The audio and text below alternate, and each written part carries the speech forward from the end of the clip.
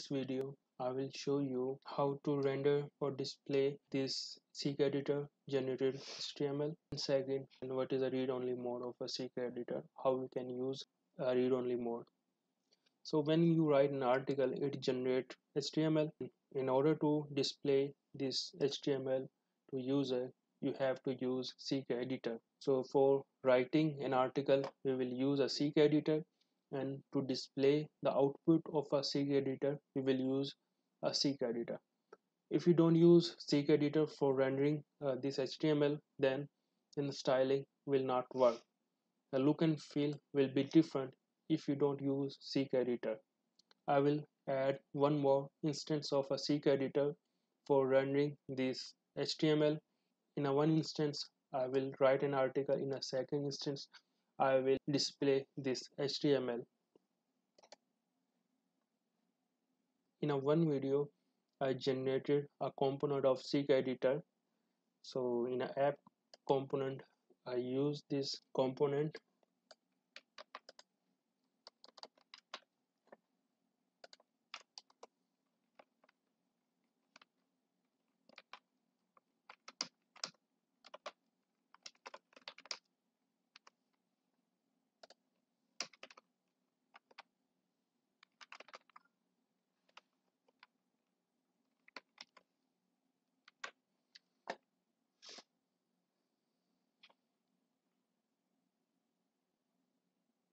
so you can see now we have a two instance of a CK editor here we will write an article and in this we will display this html we will use this to write an article and we will use this to display the html when reader read the article he don't see this option because he don't need this option. You can see this thing on a blog website where reader don't see this option.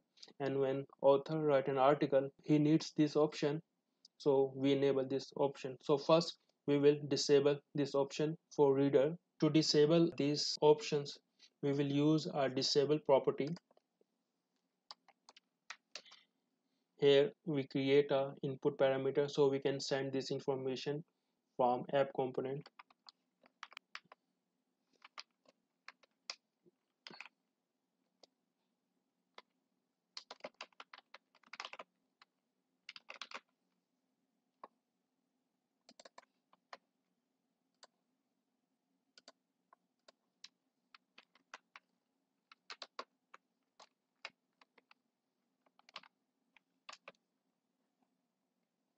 so we have created one variable one input parameter and its value is false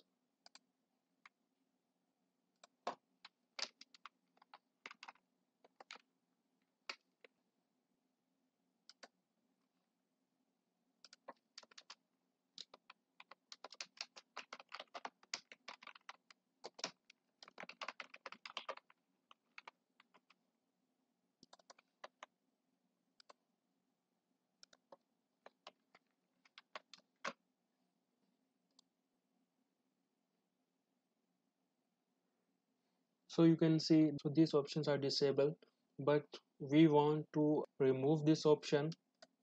In a CK editor we use a config object to show options on a CK editor. We will convert this object as an input parameter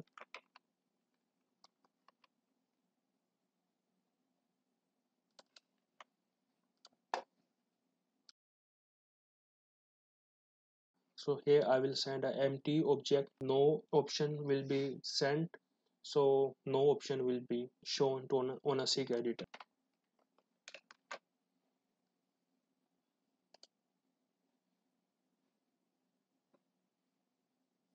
In this instance I sent an empty object to configuration object and it didn't show any options. Disable mode or read only mode you can see I cannot edit this thing so read only mode enable us to disable the edit mode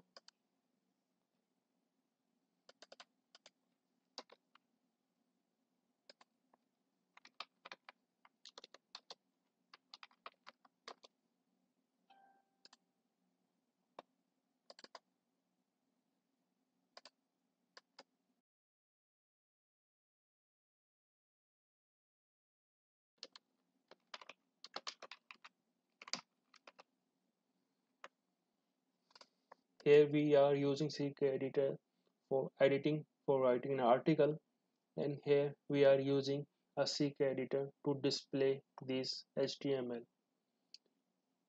and if you don't use CK editor for display the CK editor generated HTML then formatting will not work.